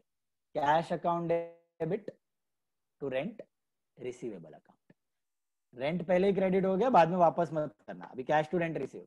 इसको आप रिलेट कर सकते हो credit sale of goods. What is the entry when you sell the goods on credit what is the entry when you sell the goods on credit debtor to party's name to sales party's name to sales why sales is our income तो rent is our income credit कर दो। Debtor क्यों debit पैसा लेना बाकी है। तो rent receivable is also पैसा लेना बाकी है। पर्सनल अकाउंट है रिप्रेजेंटेटिव पर्सनल एसेट किसी से पैसा लेना बाकी है। रिमेम्बर फिर डेटर से जब पैसा आता है तब क्या एंट्री करते हो? अजय ने आपको पैसा दिया गुड्स का। Cash account debit to Ajay. Ajay. बराबर है? पहले अजय टू सेल और फिर कैश टू अजय। तो वही हो रहा है यहाँ पे। अजय टू सेल की जगह receivable to rent receivable to rent और फिर जब पैसा आया cash to rent receivable rent receivable is like Ajay. Party's name personal account is this clear तो वही है अक्रूवल सिस्टम यही है, जो क्रेडिट परचेज क्रेडिट सेल कर रहे हो ना, वही है अक्रूवल सिस्टम अक्रूवल सिस्टम क्या बोलता है? खाली रोकड़ा आया, रोकड़ा गया, वो मत देखो. एक्सपेंस इनकर हुआ debit that expense income earn की क्रेडिट दैट इनकम रोकड़ा आया गया तो डेबिट कैश क्रेडिट कैश। रोकड़ा नहीं है तो आउटस्टैंडिंग क्रेडिट दो या रिसीवेबल इनकम को डेबिट दे दो। बाद में जब रिसीव करोगे तो अपोजिट एंट्री बोलो।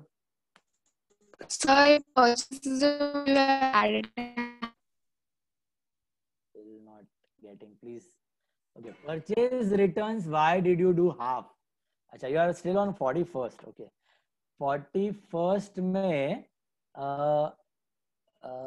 purchase return why did I do half half नहीं किया मैंने। परचेज रिटर्न में कहा हाफ़ किया है? ये वाला देखो। सेम uh, अमाउंट लिया है देखो। I purchase goods of twelve thousand gross I sold of six thousand gross 6,000 gross. Right? Purchased goods of 12,000 gross, sold off 6,000 gross. उसमें से वन थर्ड रिटर्न हुआ था तो 6,000 का वन थर्ड कितना होता है 2,000.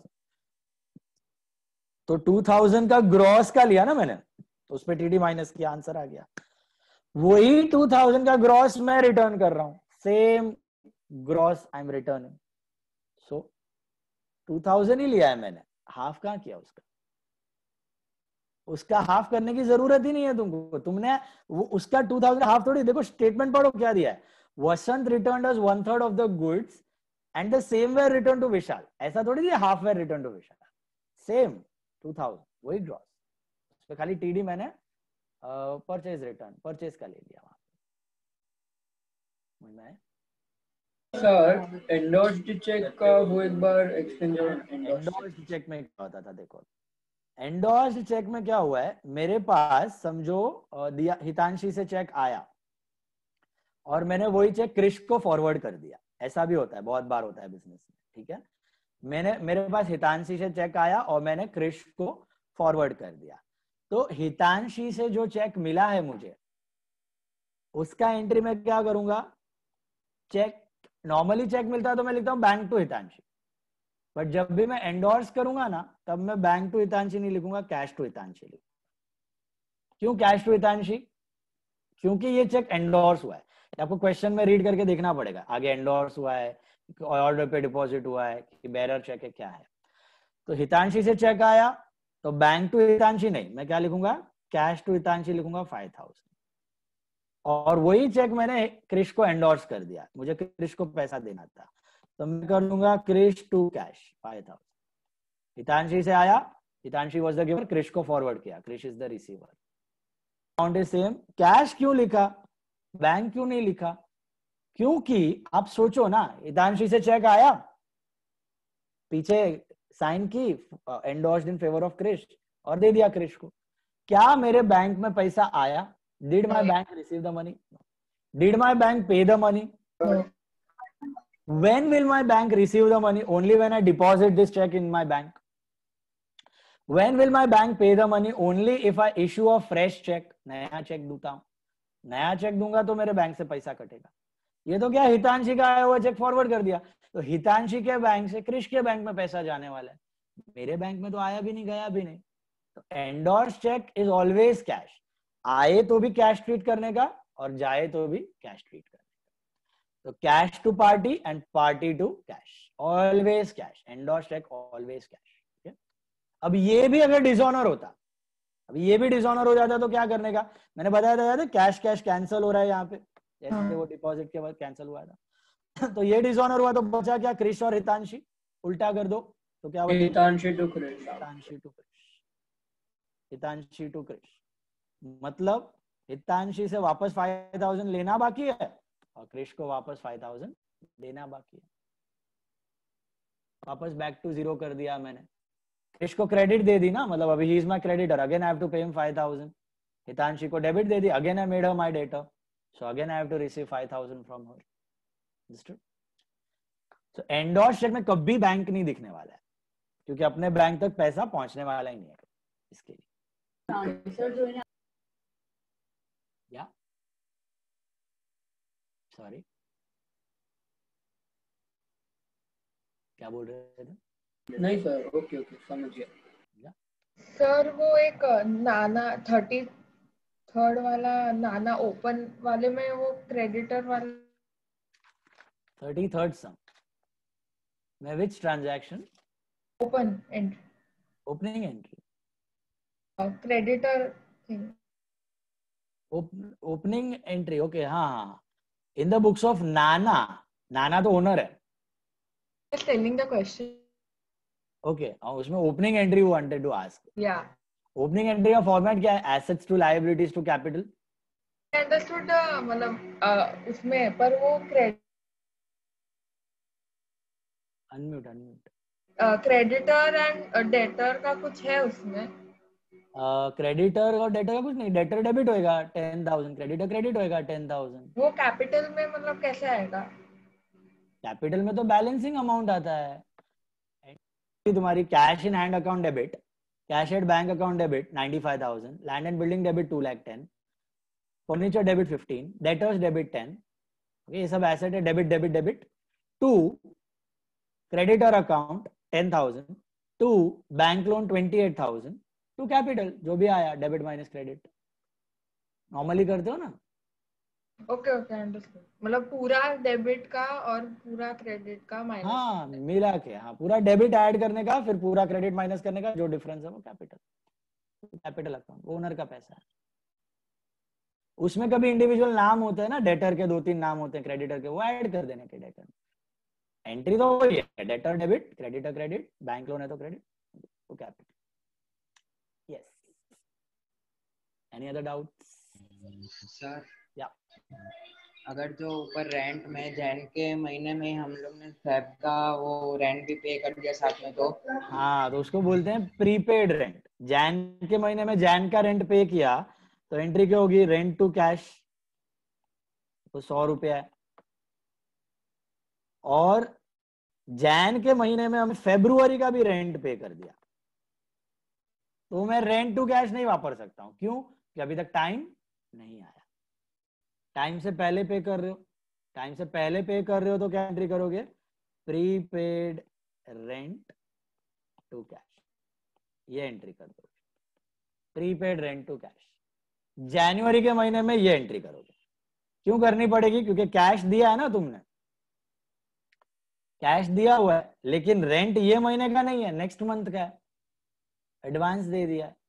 तो रेंट तो डेबिट नहीं करोगे। टाइम नहीं आया ना अभी तक एक्सपेंस को डेबिट नहीं करना तो प्रीपेड रेंट टू कैश अब जब फेब्रुवरी का महीना आएगा एक्चुअली तब रेंट तो डेबिट करना पड़ेगा क्योंकि रेंट का टाइम आ गया। क्या वापस दोगे ये पैसे? नहीं ये आपने ऑलरेडी पे कर दिया है। तो फेब्रुवरी में क्या एंट्री करोगे? Rent to prepaid rent prepaid rent यहाँ से एडजस्ट कर लो। रेंट टू प्रीपेड रेंट यहाँ से एडजस्ट कर लो। तो आपका नेट एंट्री यही बना। रेंट टू कैश लेकिन दो पार्ट्स में। आउटस्टैंडिंग में भी नेट एंट्री सेम है, इधर देखो। मैंने क्या किया, जब आउटस्टैंडिंग सैलरी रखी, तब सैलरी टू आउटस्टैंडिंग सैलरी मारा पेएबल और जब फिर चुकाया, तभी outstanding salary to cash Jain के महीने में पेंडिंग रखा था ना तो ये एंट्री मारी। फेब के महीने में जब पे किया, ये एंट्री मारी। तो इसमें भी क्या हो रहा है? आउटस्टैंडिंग कट हो रहा है। What is the net amount net entry salary to cash net entry same ही होएगा। इधर भी रेंट टू कैश होएगा। इधर भी रेंट टू कैश होएगा। उधर भी सैलरी टू कैश ही होएगा। बट दो पार्ट्स में होएगा। क्योंकि टाइम आगे पीछे हो रहा है। पेमेंट का और एक्सपेंस का। इसके लिए। यही एग्ज़ाम्पल हम लोग आगे अभी करना है। वो जो हमने असाइनमेंट शीट में फ़र्स्ट फाइव किया है ना, उसके बाद यही है। प्रीपेड और out receive received in advance वही एग्जांपल हम लोग देखने बोलो। सर बिल्स रिसीवेबल और वो क्या होता है? Bills receivable and bills payable है ना? Basically bills receivable actually detail में है नहीं अभी आपको नेक्स्ट ईयर है। Suppose you are my debtor Sahil. I have sold goods to you तो मैंने क्या एंट्री मारा है? Sahil to sales five thousand तो मुझे तुमसे कितना पैसा लेना बाकी है? फाइव थाउज़ेंड मुझे गारंटी चाहिए। अभी ये क्रेडिट पीरियड है वन मंथ का। तुम मुझे पैसा देने वाले हो एक महीने बाद। फ़र्स्ट अक्टूबर को देने वाले हो। लेकिन आज ही मैं फ़र्स्ट अक्टूबर की बात नहीं कर रहा हूँ, आज की बात कर रहा हूँ। मुझे भरोसा नहीं है कि तुम पैसे दोगे, तुम शायद भाग जाओ तो। तो मुझे गारंटी चाहिए। तो गारंटी के लिए मैं एक डॉक्यूमेंट बना लेता हूँ return document it's called as a bill of exchange bill of exchange कोई गवर्नमेंट का डॉक्यूमेंट नहीं है, कोई भी बिज़नेस बना के रख सकता है अपने बिज़नेस इनवॉइस बनाता है बिल्स बनाता है जैसे, वैसे बिल ऑफ़ एक्सचेंज भी बना सकता है ओके तो बिल ऑफ़ एक्सचेंज पे मैं क्या लिखूँगा? साहिल is suppose to pay me five thousand rupees after a period of one month for the value receive for the value receive मैंने तुमको गुड्स भेज दिया। तो after two month Sahil is suppose to pay me five thousand मैं sign करेगा, तुम्हारा भी मैं साइन ले लेगा उस पर it becomes a legal contract okay और मेरे बुक में मैं एंट्री भी पास कर देगा एज ऑन फ़र्स्ट सितंबर क्या एंट्री कर देगा? Bills receivable account debit to Sahil account ये एंट्री एक्चुअली मैं करता हूँ। इससे क्या हुआ? Sahil is no more my debtor now is no more my debtor वो क्रेडिट हो गया सेटल हो गया। उसने मुझे क्या दे दिया? Bills receivable now bills receivable is my asset bills receivable is my asset अभी एक महीने बाद मैं जाऊँगा साहिल के पास और मैं उसको ये बिल बताऊँगा। साहिल, ये बिल है तुझे पैसे देने हैं, दे दे। साहिल बोलेगा, ठीक है, बराबर है परफेक्ट है। बिल लेके पैसे दे देगा। तो एज ऑन फ़र्स्ट अक्टूबर एक महीने बाद मैं एंट्री क्या करूँगा? Cash debit to bills receivable account I won't write cash to Sahil now because Sahil is no more my debtor. I will write cash to bills receivable. मतलब मुझे पैसा कैसे आ रहा है? बिल्स रिसीवेबल बेच के। Bills receivable is an asset like furniture तो bill दिया, पैसा आया। इसको मैं ऐसे क्यों ट्रीट कर रहा हूँ अलग? क्योंकि ये बिल की बहुत बड़ी पेक्युलरिटी है। फ़र्स्ट सितंबर को मुझे साहिल से बिल आया था राइट अगर फ़र्स्ट सितंबर को ही मुझे रोकना चाहिए ना तो भी मिल सकता है। कैसे मिल सकता है? I can sell this bill to the bank मैं बैंक को ये बिल बेच सकता हूँ because it's a legal contract और बैंक भी खरीद लेगा। तो फ़र्स्ट सितंबर को I can sell it to the bank literally बेच के पैसा ले सकता हूँ। तो मैं ये एंट्री करूँगा bank to bills receivable obviously bank मेरे को पूरे पैसे नहीं देगा। पाँच हज़ार रुपए में से बैंक मुझे देगा फोर थाउज़ेंड नाइन हंड्रेड सौ रुपया काट लेगा। फॉर चार्जेस बैंक चार्जेस सौ रुपया। फिर क्या होगा? एक महीने बाद है ना, मैं नहीं जाऊँगा साहिल के पास बिल का पैसा लेने। बैंक जाएगा। Bank will collect the money from Sahil. तो ये बिल्स रिसीवेबल बड़े फ़ायदे की चीज़ होती है। अगर आपको अर्जेंट नीड ऑफ़ पैसा की ज़रूरत है, आपको एक महीना वेट नहीं करना है तो आप ये बिल ले सकते हो अपने डेटर से साइन करवा के। ओके दो यूजेस होते हैं। एक तो आपकी सिक्योरिटी हो गई और दूसरा आपको इमीडिएट पैसा चाहिए। तो आप इसको एसेट की तरह भी यूज़ कर सकते हो बेच के पैसा ले सकते हो। सर पर अगर मैं इंसॉल्वेंट हो गया तो? इंसॉल्वेंट हो गए तो तो बैड डेट हो जाता है ना?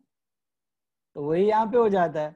देखो पहली चीज़ आपने मुझे क्या दिया था? बिल दिया था। तो मैंने क्या हमारा बिल्स रिसीवेबल टू साहिल आपने कैश दिया होता तो क्या एंट्री की होती? कैश टू साहिल चेक दिया होता तो? बैंक टू साहिल बिल दिया है तो bills receivable to Sahil asset बढ़ रहा है मेरा। अब चेक बाउंस होता चेक भी बाउंस हो सकता है। तो क्या एंट्री करता मैं? Sahil to Sahil to bank उल्टा। तो वैसे बिल्स रिसीवेबल भी बाउंस हो गया ना आपने डिसऑनर कर दिया। पैसा नहीं दिया इंसॉल्वेंट हो गए। तो इसमें भी मैं यही करूँगा Sahil to bills receivable five thousand अब वापस मुझे आपसे कितना लेना है फाइव थाउज़ेंड लेकिन आप तो हो गए बैंक तो मेरे बुक में आएगा bad debt to Sahil.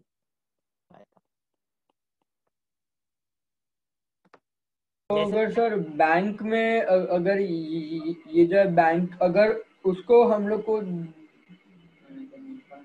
Discount करवा का होता पैसा तो क्या होता मतलब ऐसे एंट्री मतलब you are saying that discounted मतलब वो जो मैंने बैंक को सेल किया। हाँ हाँ वो वाला। तो बैंक को सेल किया तो क्या हुआ था? मेरे मेरे को बैंक ने फोर थाउज़ेंड नाइन हंड्रेड दे दिया था तभी का तभी। हाँ। और फिर एक महीने बाद बैंक गया होगा किसके पास? आपके पास साहिल के पास। मेरे पास हाँ। टू गेट द मनी लेकिन तुमने तो दिया नहीं पैसा। इंसॉल्वेंट हो गए इंसॉल्वेंट हो गए। तो बैंक किससे वसूलेगा वो पैसे? बैंक बे, बे, बैठ जाएगा? हाथ पे हाथ रख के। बैंक किससे वसूलेगा वो पैसे? मेरे से। क्योंकि मैंने लिया था ना, मेरे गारंटी पे पैसा। मैंने बोला था, ये साहिल का बिल है। साहिल का बिल है। अभी फोर थाउज़ेंड नाइन हंड्रेड दे दो। एक महीने बाद साहिल दे देगा। साहिल ने तो नहीं दिया। बैंक मेरा गला पकड़ेगा। तो मेरे अकाउंट में से कट जाएगा पैसा। तो मैं क्या एंट्री करेगा इन दैट सिचुएशन अगर मैंने वो बिल बैंक से डिस्काउंट करवा लिया होता तो मैंने पहले ये एंट्री की होती। Bank bank charges to bills receivable five thousand four nine double zero and hundred. अब ये बाउंस हो गया तो मैं एंट्री करेगा ये, Sahil to bank Sahil to bank Sahil to bank मतलब क्या? बैंक ने काट लिया और साहिल से पैसा लेना बाकी है फाइव थाउज़ेंड साहिल से पैसा लेना बाकी है, क्योंकि मैं मेरे जेब से तो जा रहा है अभी। बैंक ने काट लिया five four nine double zero नहीं, पूरा फाइव क्योंकि बैंक को तो फाइव थाउज़ेंड लेना था साहिल से। सौ रुपया मेरा जेब से गया, नुकसान। तो बैंक पूरा फाइव थाउज़ेंड काट लेगा एंड साहिल से मुझे अभी फाइव थाउज़ेंड लेना बाकी है। अगर उसने दिए तो वेल एंड गुड नहीं दिया तो बैड डेट टू साहिल ये एंट्रीज अभी नहीं है आपको ये सब एंट्रीज आपको नेक्स्ट ईयर इन डिटेल है बिल्स ऑफ़ एक्सचेंज चैप्टर में ट्वेल्थ स्टैंडर्ड ओके बेसिक में। बेसिकली सिर्फ़ इतना समझना है अभी कि डेटर जैसे होता है वैसे ही बिल्स रिसीवेबल होता है। वो आपका एसेट है।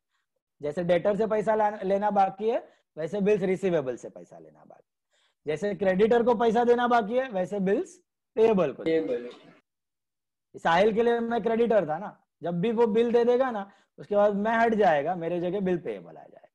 अब bill payable is is liability या सर क्वेश्चन 24 भी ऐसा ही है ना वो हेमल वाला? 24th में हाँ विच ट्रांजैक्शन फ़र्स्ट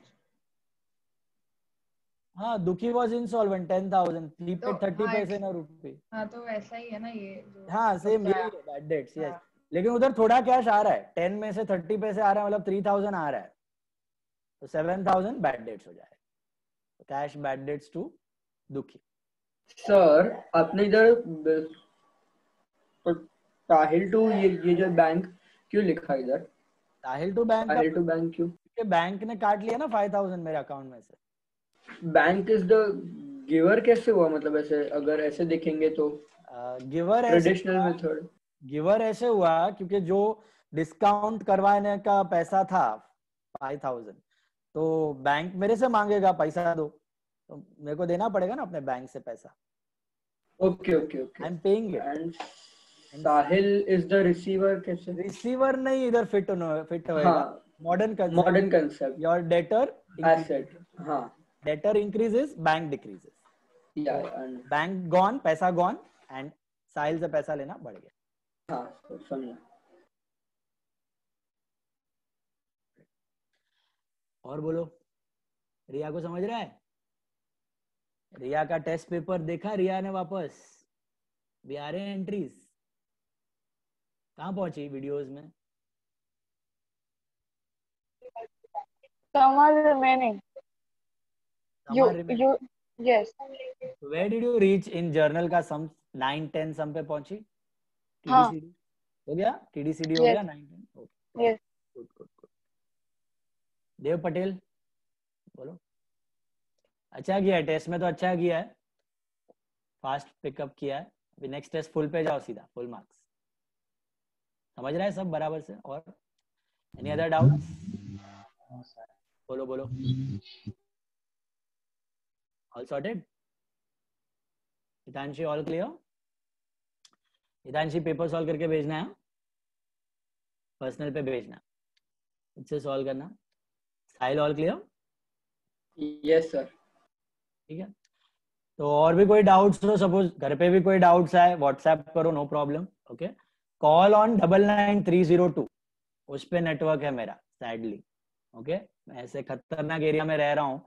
कि मेरा सेकंड थर्ड और फोर्थ फ्लोर पे नेटवर्क नहीं आता है। मेरा बिल्डिंग में ग्राउंड फ्लोर पे तो पार्किंग है फ़र्स्ट फ्लोर पे आता है फिफ्थ फ्लोर से भी नेटवर्क आता है, मेरा ही तीन माला क्या आप शकुन है, पता नहीं। तो उधर नेटवर्क का बहुत प्रॉब्लम है। तो अगर फिर भी कॉल ना लगे दोनों नंबर्स पे तो व्हाट्सएप कॉल करो। इंटरनेट चल रहा है भगवान की कृपा से। तो व्हाट्सएप कॉल कर सकते हो या फिर व्हाट्सएप पे मैसेज डाल दो। तो मैं आपको कॉल बैक करूँगा या फिर व्हाट्सएप पे क्लियर कर लूँगा डाउट्स ओके तो keep on revising next big test one week later journal okay that's it और कुछ डाउट्स है तो let me know you can leave okay? Okay hitanshi you wait. I have to tell you about the recording. Bye sir bye.